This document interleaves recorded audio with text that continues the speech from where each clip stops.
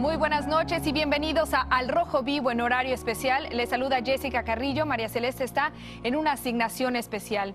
Iniciamos el programa con la despedida a la queridísima actriz Edith González, cuya muerte ha estremecido a sus miles de fanáticos en el mundo entero. Edith libró una valiente batalla contra el cáncer que compartió con todo su público y hoy muchos de esos seguidores con dolor en el corazón le están dando el último adiós. Comenzamos nuestra cobertura en equipo con Agustino Laisky. Nos acompaña desde la Ciudad de México con los detalles. Adelante.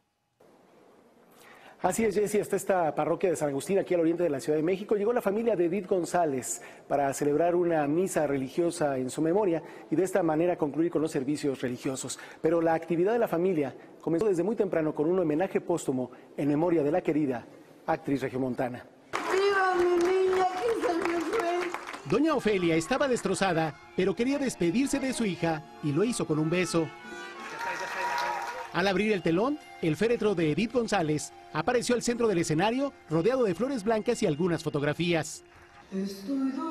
Su canción Cielo Rojo se escuchó en todo el recinto. Enfrente estaba su esposo Lorenzo Lazo. Así comenzó el homenaje póstumo a la actriz que murió ayer a los 54 años en la Ciudad de México, víctima del cáncer. Su cuerpo salió del Panteón Francés y llegó al Teatro Jorge Negrete casi al mediodía. Decenas de admiradores ya la esperaban. Doña Yolanda dice que vio todas sus novelas. ¿Cómo la recuerda? Ah, con mucho amor. Con mucho amor, muy sencilla, muy humana. Adentro su hermano Víctor Manuel compartía con los más de 600 asistentes algunos recuerdos de cuando Edith había nacido. Es que es como güerita. ¿Cómo que como güerita? Sí, le digo, es así como güerita. ¿Luego has visto esos que, que tienen el cabello como blanco y tienen muchas pecas? Me dice, sí.